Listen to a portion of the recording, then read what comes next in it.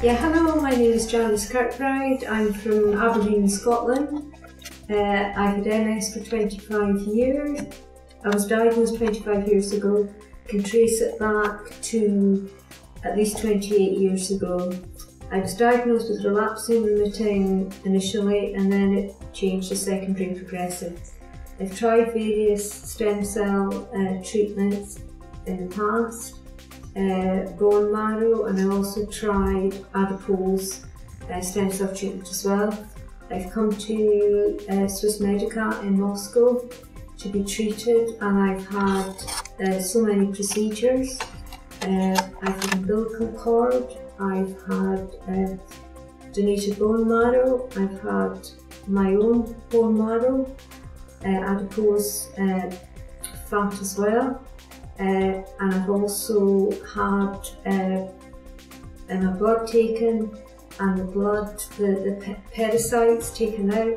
Parasites are very good for homing into damaged tissues and repairing the tissue.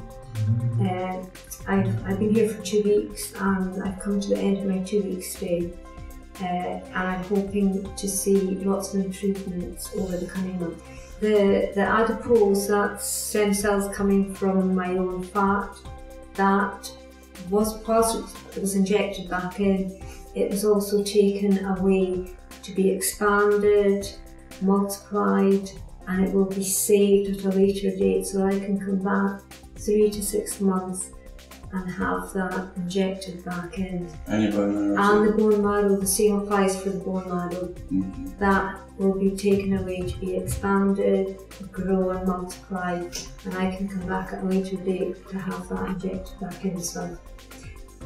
My experience so far here with the doctors, nurses and all the staff has been brilliant, very professional, very caring, wanting to do their best to help you. Okay, and uh, um, what do you feel now?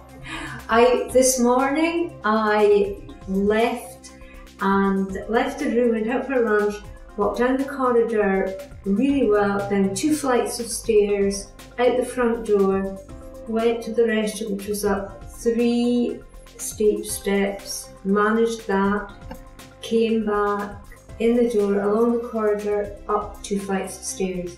So I'm doing really well. Okay. Peter? Maybe you want to add something? Say, say something. Yeah, yeah, okay. yeah, it's been a great experience here. Um, we've been to India and uh, America, and uh, Janice has had stem cell therapy, and uh, nothing has been as thorough yeah. and as professional yeah. as we've uh, had the treatment here. Yeah.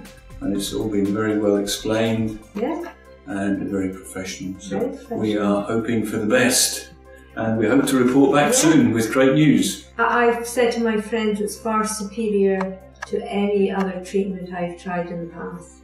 And I believe that, I definitely believe that. Far superior. Okay.